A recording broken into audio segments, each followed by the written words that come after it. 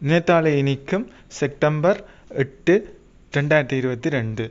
பொம்மி மழைக்கு மலைக்கு நின்று நினைக்கிறாங்க சரியா? அந்த சமயம் சித்தார்த்து கூப்பிட்றார் வா வா பொம்மி. ஏதாவது பிரச்சனை வரப்போகுது மலைக்கு நினைக்கிற உள்ளுக்க வாண்டு அப்போ பொம்மி அடம் பிடிச்சி கொண்டு அப்போ என்ன செய்யறா சித்தார்த்? இறங்கி மேல் மாடிக்கு போகிறதுக்காண்டி வேற ஒரு ரூமுக்கு போய் ரூம் அண்ட ஜன்னலை திறந்து சதாலில் பாஞ்சு ஏறி ஒரே மாதிரி மேல் மாடிக்கு போகிறார் மேல் மாடிக்கு போய் அங்கே பொம்மியை பிடிச்சி வா போமண்டு அப்போக்காக அடம் பிடிக்கிறா? நீங்கள் வாபஸ் பண்ணணும் அப்பா நம்ம வருவேன்ட்டு நீ வாண்டு நல்லா இறுக்கி கையை பிடிச்சி கொண்டு போய் உள்ளுக்க போயிட்டு பேசுகிறார் என் பிடிச்சி செய்கிறேன்ட்டு அப்போ எல்லாருமே பேசினோம்.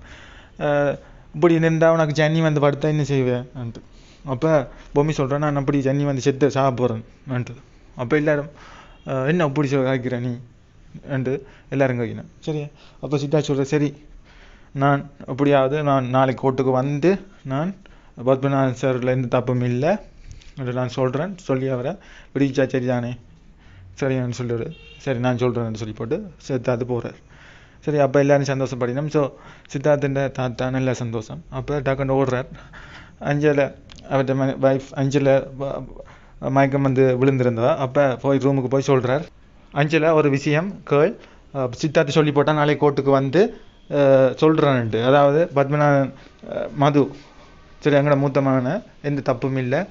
என்று சொல்லி நான் வாபஸ் பண்ண வாங்குறேன்னு சொல்லிட்டேன்.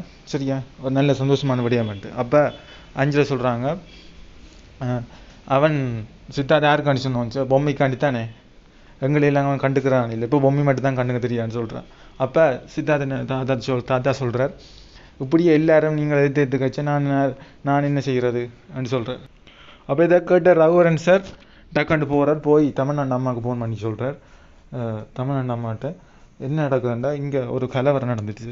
சரியா? பொம்மி மாளிகை நினைஞ்சு இப்படி இடம் பிடிச்சி போட்டாங்க. அப்போ சித்தார்த்து நாளைக்கு கோர்ட்டில் வந்து சொல்ல போகிறான் சரியா?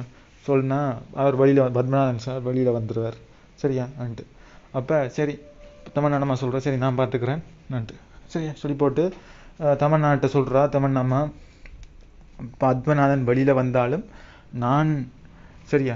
எந்த நான் என்னால் வந்ததாக இருக்கணும்னு சொல்கிறான் சொல்லி போட்டு அடுத்ததாக கோட் காட்டப்படுது கோட் காட்ட பிறகு அங்கே எல்லாரும் நிற்கணும் அந்த சமயம் கூப்பிடப்படுது. சரி அங்கே இவ அங்கே பாதாட பத்மநாதன் சார்பாக பாலா பத்மநாதன் சார்பாக பாதாட வந்தது யாருண்டா? தமிழ்நாடு அம்மா. சரியா? தமிழ்நாடு அம்மாவுக்கு எல்லாரும் கேட்கணும் என்ன நீங்கள் வந்திருக்கீங்க. வந்து இல்லை நான் தான் பாதாட போகிறேன் சரியா? உண்மையை சொல்லணும். யார்? இந்த குற்றவாளி உண்மையான குற்றவாளி நான் கண்டுபிடிச்சிட்டேன்னு சொல்கிறேன் சரியா? சரி யார் ரெண்டு கோர்ட் ஸ்டார்ட் பண்ணுது? அப்போக்க தமிழ்நாடு அம்மா வலிமை சொல்கிறேன் நான் இந்த இதில் உண்மையான குற்றவாளியை நான் கண்டுபிடிச்சிட்டேன். அவரை கூப்பிடலாமோ? விசாரிக்கிறேன்ட்டு சரியா? சரி ஓ ஓமன் சொல்கிறார் நீதவான்.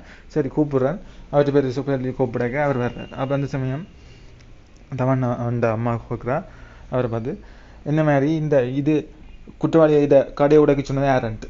சரி அப்போ அவர் சொல்கிறார் பத்மநாதன் சார் என்ன உடைக்க சொல்லல. இப்படி அடை உடைக்க சொன்னது நேத்ரா ஸ்வீட்ஸ் தான். சரியா? நேத்ரா ஸ்வீட்ஸ் ஆள் தான் எனக்கு சொன்னவான்ட்டு. சரி அந்த சமயம் கோர்ட் சொல்கிறார் உத உட உடனடியாக இது ஆயிரம் குற்றவாளியை தண்டிக்கப்பட்டாலும் ஒரு நிவராதி சந்திக்கப்படக்கூடாதுன்னு சொல்லி போட்டு உண்மையான குற்றவாளியை நேத்ரா சுவிட்சை நான் இப்போ டகண்டு கூப்பிடணும். சரியா? அந்த சுக்கு சொல்லிட்டு டகண்டு கூப்பிடினேன். கூப்பிடக்க அங்கே வாரேன் நேத்ரா. நேத்ரா வந்துட்டு நேத்ரா எடுக்கையும் நிதவான் கேட்குற நீங்களா செஞ்சதுண்டு அவன் அவன் ஓமட்டு சொல்கிறான் சரியா எல்லாருக்கும் அதிர்ச்சி முகத்தில். சரி அப்போ சொல்கிறேன் நீதவான் கடைசியாக போட்டு கொடுக்குறார். இப்போ அவன் போலீஸ் கஸ்டடியில் வச்சு டிமாண்ட் பண்ணணும்னு சொல்லி போட்டு இந்த குற்றவாளியை அஹ், குற்றவாளியை குற்றவாளி இல்லை என முடிவு செய்து நிரபராதி என இந்த கோர்ட் முடிவு செய்கிறாண்டு அவரை விடுதலை செய்கிறான்னு சொல்லுது கோர்ட் சரி அவர் சந்தோஷப்படுறார். சரி அப்படி எல்லாம் விட்ட போயினோம். சரி அடுத்ததாக தமன்னா வாரா தமன்னா வந்து பத் பொம்மிட்டு சொல்கிறேன் பார்த்துனியா எல்லாருக்கும் நடந்ததுக்கு எல்லாத்துக்கும் காரணம் நான் தான் இப்போ பத்மநாதன் சார் வழியில் வந்ததுக்கு காரணம் நான் தான் சொல்கிறேன் சரி அதோட இந்த எபிசோட் முடியுது. இதே மாதிரி ஒரு எபிசோடில் சந்திக்கிறேன். நன்றி வணக்கம்.